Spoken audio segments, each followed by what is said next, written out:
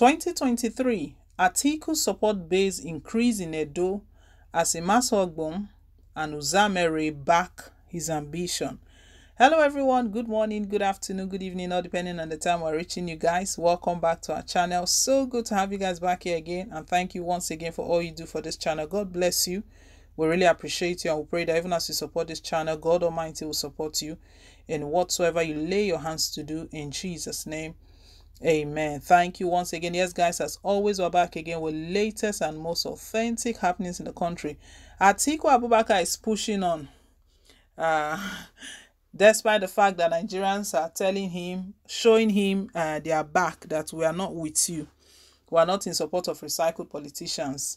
We want uh, uh, people who are consistent, people who have proven track record, people who've got, who have got integrity we know Atiku, the strategy he's always used is uh, that of one Nigeria, that he believes in one Nigeria. The reason why he has connection with different regions, he's married from different regions of the country. But that is still not enough. It's not enough to tell us that um, uh, we can't bank on that alone, that that will make you a good president because you marry from different tribe, different ethnicity.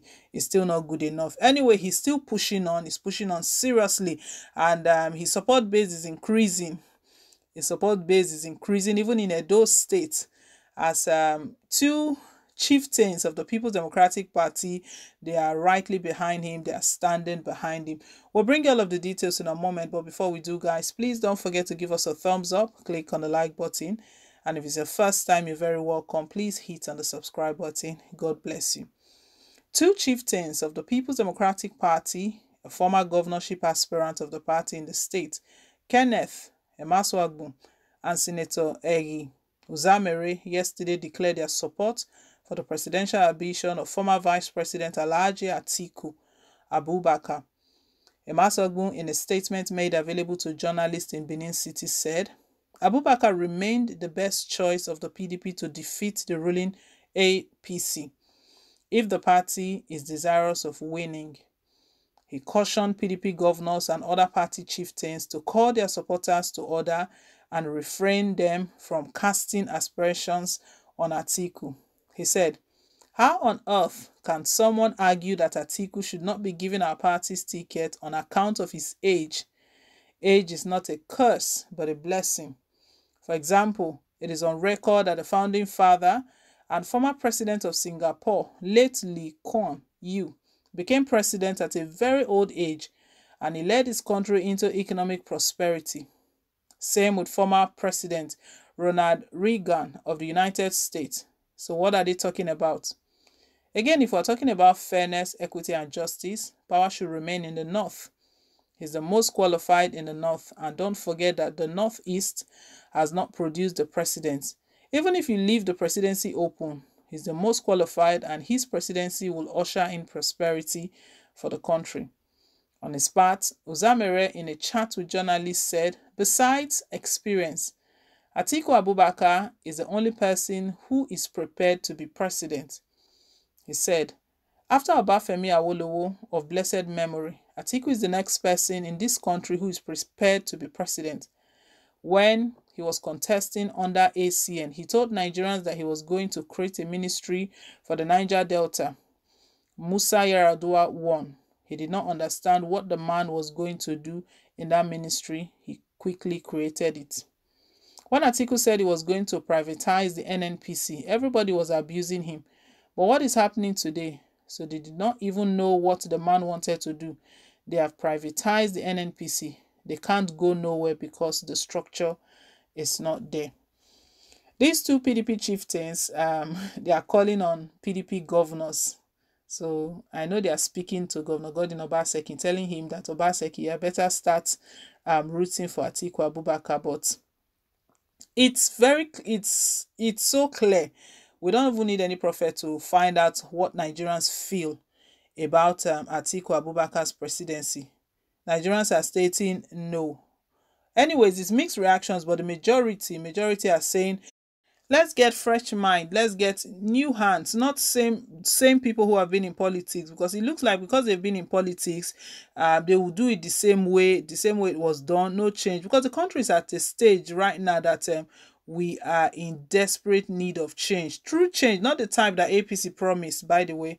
APC promised change, and we didn't know that the change they were talking about is change to the negative to the negative side. Everything they met, they, even the debt PDP left for them, they tripled the debt rather than reducing the debt.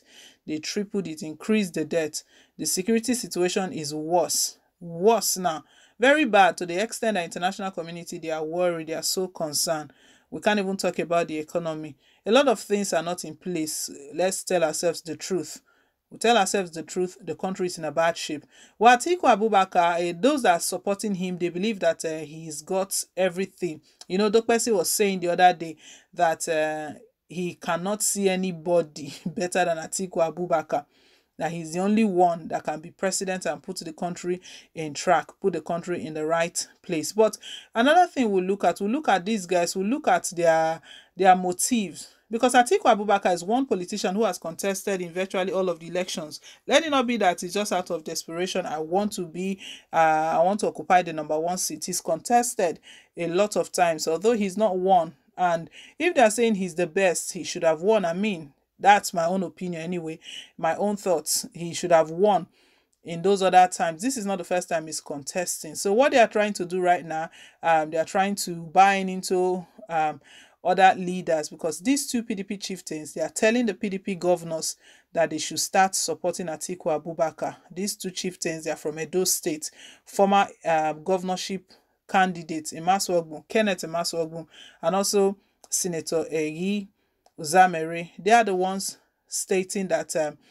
Atiku Abubakar is the person to beat. They've given their support, meaning that they've endorsed him that yes, he should carry on he has their support and all they all that is left for them to do is to try to rally around their people and speak to their people speak to governors and um the Atiku Abubakar will be the best Nigerians are already reacting, and as a matter of fact, uh, from Edo State, someone says that Emerson Ogun always support wrong candidates. Interesting. That is always supporting the wrong candidate. Another one says these people don't really know what they want. They are selling their birthright for a morsel of bread. This is why Edo State is where it is now. You know these two PDP chieftains from uh, Edo State, they are they are confidently saying that it's still the turn of the north. Meanwhile, all of the southern governors are stating that it's the turn of the south.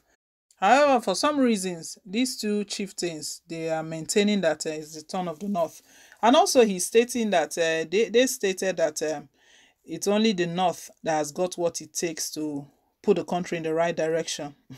a question mark is on that one. Big question mark. That is only the north. Well, guys, let's hear your own thoughts. Thank you once again for staying tuned. Please don't forget to like, share, and to subscribe. Till I come your way again on more updates. Bye.